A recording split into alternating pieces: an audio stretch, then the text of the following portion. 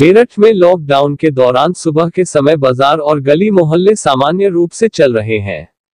वहीं अधिकतर लोग सुबह के समय बाज़ार जाकर खरीदारी कर रहे हैं और बाज़ार में चहल पहल दिखाई देती है। दोपहर बाद यहीं पर लगभग पूर्ण रूप से सन्नाटा सा छा जाता है। सुबह के समय शाक्यपुरी, नंदपुरी शिव चौक और खिरवा चोपला पर देखा गया तो काफ़ी चहल पहल दिखाई दी।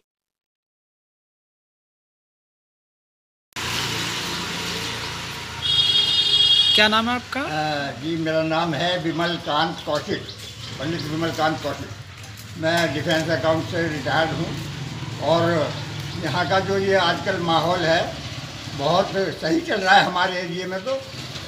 और आप ये समझिएगा सुबह मॉर्निंग में मार्केट हैं तो थोड़ी जो ज़रूरी चीज़ें हैं उनके लिए तो लोग बाग निकलते हैं। बाकी दिन भर बहुत ही अच्छा प्रोग्राम चल रहा है और हमारे प्रधानमंत्री मोदी के आदेशानुसार आज शाम को जो भी दिए जलाने का, मोमबत्ती वगैरह जलाने का प्रोग्राम बहुत सही चलेगा उसकी हमें पूरी आशा है जी हाँ।